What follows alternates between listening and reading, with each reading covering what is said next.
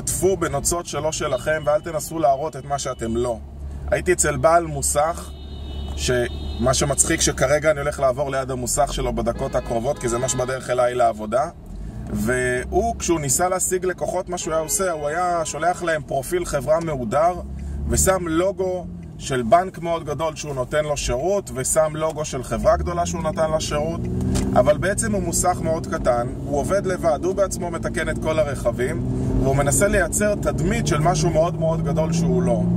והתחלתי קצת לברר פרטים והמוסך הזה קיים 42 שנה הוא דור שני, הוא דור ממשיך, הוא עושה עבודה ממש טובה והוא עובד בעצמו ואחותו היא המזכירה בקבלה אמרתי לו, תראה, במקום לנסות לייצר איזה תדמית שאתה לא, ולהגיד אני מטפל בגופים הכי גדולים בארץ, ואולי מישהו יבוא לבקר ויראה שאתה מוסך כל כך קטן, למה אתה לא ממצב את עצמך בתדמית שאתה בוטיק ואתה נותן יחס אישי וזה משהו שזורם אצלכם בוורידים 42 שנה ושאתה ינקת פה שמן מהליפטים?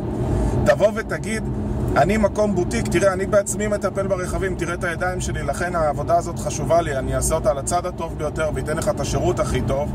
ובמקום לשים על הפרומו שלך על הפלייר שלך את הלוגו המפואר של הבנק הגדול שאתה עובד איתו, למה פשוט לא תגיד, שים תמונה שלך ושל אבא שלך ותמונה של הקמת המוסך לפני 42 שנה ותגיד, אני ממשיך את דרכו של אבי ופתאום נפל לו האסימון והוא הבין שלא צריך להתעטף בנוצות שלא שלו וזו ההמלצה שלי אליכם. אם אתם עושים שיווק, בואו תראו מה באמת חזק בכם ותדגישו אותו במקום לנסות להתעטף בנוצות שלו שלכם, שפתאום בבוקר של המחרת תגלו איך אתם נראים באמת.